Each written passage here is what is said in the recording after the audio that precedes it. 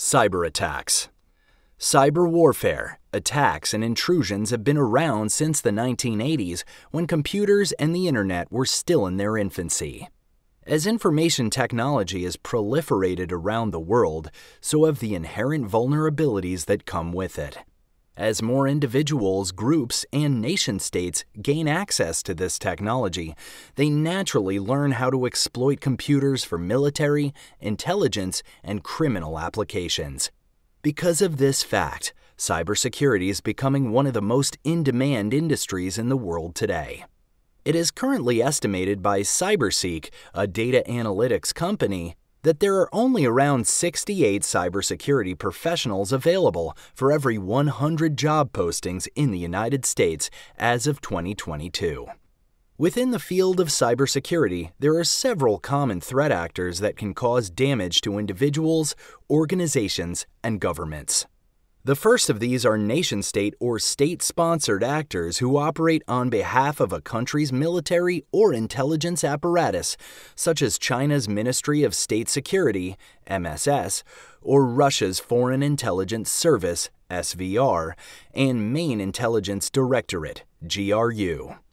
Nation state actors are primarily focused on accessing classified information from other countries, such as defense technologies, operational details, and other state secrets. Nation state actors may also be interested in using cyber techniques to further their strategic objectives through covert action, foreign influence, and information operations. Attacks by nation state actors tend to be very sophisticated, as their operatives are highly trained and are backed by more resources than other threat actors. One of the most notable examples of nation state cyber espionage took place between 2014 and 2018 when the Chinese Advanced Persistent Threat APT 10 group attacked the United States and 11 other countries around the world. The cyber campaign, named Cloudhopper, was focused on infiltrating managed service providers, MSPs, which allow for other companies to outsource back end functions such as payroll, human resources, and vendor management. Many companies and organizations use MSPs, including the U.S. government, which was the focus on this attack.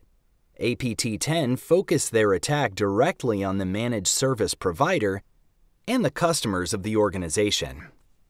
The hackers used methods such as email phishing to gain access to the servers of the managed service provider and then installed malware to get remote access and to steal credentials. Credentials are tools that computers use to verify authentication of their users so they may be granted access to a specific service. Credentials are often encrypted tokens, keys, and passwords. APT 10 used the credentials of the managed service provider to gain access to many of their customers, which included the U.S. Navy. The result of this intrusion was that the hackers were able to gain access to the personal information of more than 100,000 U.S. Navy personnel and members of other government agencies. In 2018, two Chinese hackers were indicted in United States District Court for the Southern District of New York. These individuals and others involved in this attack still have yet to be captured and tried for their actions. The next type of threat actors to be discussed are cyber criminals, who are generally focused on using computer technology to conduct illicit activity for the purposes of profiting financially. Cybercriminals can be individuals, small groups, or they could be associated with established organized crime groups. Common tactics used by cybercriminals are distributed denial of service, ransomware, and industrial espionage. Cybercriminals generally target cash or data rich companies and wealthy individuals. Criminals generally don't target governments unless there is an opportunity for financial gain. One of the most recent examples of an attack by cyber criminals was the Colonial Pipeline attack on May 7, 2021. The attack was conducted by a Russian based cybercrime organization known as DarkSide. This organization launched a ransomware attack on the Colonial Pipeline Company, which was a type of attack that denied access to critical services and infrastructure within the company. DarkSide then offered to remove the ransomware for a large sum of money. DarkSide's servers and Bitcoin wallets were taken over by authorities not long after the attack. Before shutting down, the hackers had managed to steal $90 million in ransom payments since their inception.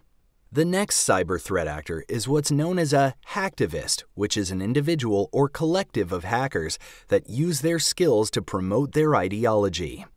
Hacktivists primarily seek to embarrass or expose their targets and to release confidential information to the public surrounding a specific cause. Hacktivists have been known to target individuals, organizations, businesses, and entire governments to harass those who oppose their ideology. Sometimes these cyber attacks involve the release of classified information, personal information, and other damaging information.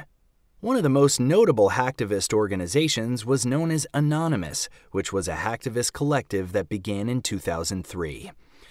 Anonymous was centrally focused on combating censorship, government surveillance, and corporate corruption.